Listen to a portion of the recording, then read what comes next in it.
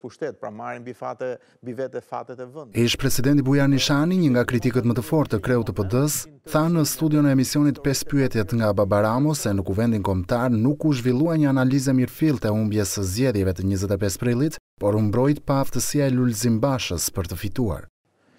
Kuvendi Kombëtar i Partisë Demokratike u zhvillua sikur s'ka ngjarë asgjë.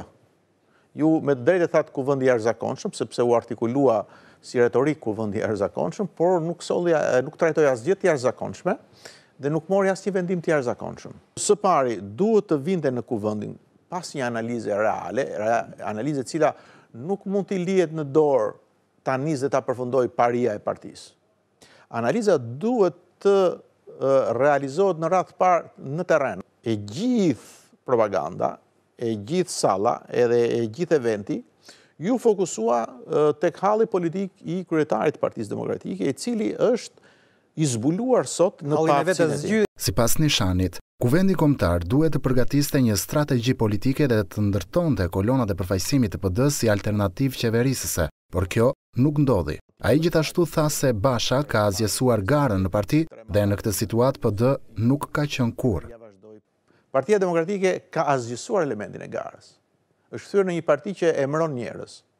Kandidatët që ishin përballë Lulzim Bashës u konsideruan, u perceptuan dhe u adresuan nga selia qendrore dhe nga përfaqësuesit e selisë qendrore nëpër degë si armiq të partisë, jo si rival potencial apo alternativë e Lulzim Bashës. Por si kjo situatë e sotme, Partia Demokratike nuk ka qenë asnjëherë dhe kjo është e vërteta që ne duhet ta themi. Është e vërteta që duhet ta themi sepse duke mos e thënë të vërtetën, duke gënjyer vetveten, ne po e lëmë një statu quo që vazhdon të degradojë Ish-kreu i Këshillit Kombëtar të PD-së tha gjithashtu se Basha nuk perceptohet si kryeministër i Shqipërisë nga opinioni publik dhe kjo është kostoja më e madhe për Partinë Demokratike. Sot shumica dërrmuese e qytetarëve shqiptarë, përfshi ata që janë anëtarë, simpatizantë, votues të Partisë Demokratike, por dhe të jo të tjerë, thonë në mënyrë publike dhe jo publike që nuk ka besim lidershipi i Partisë Demokratike. Pra, ka një ka një kaos të madh, ka një papërgjegjshmëri të madhe.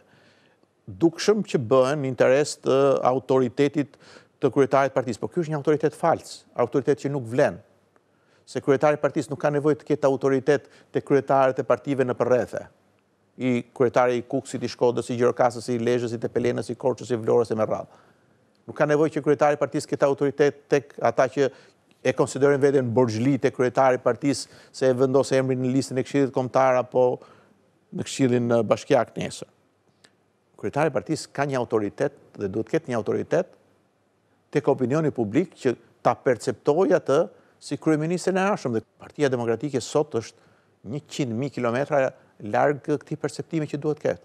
I pyetur disa herë për shpalljen e Berishës non grata nga SHBA-ja, Nishani zgjodhi t'i dalë në mbrojtje ish-shefit të tij duke thënë se ai ka zgjedhur një rrugë ligjore për të mbrojtur veten dhe se kjo nuk cënon marrëdhëniet e PD-së me SHBA-në.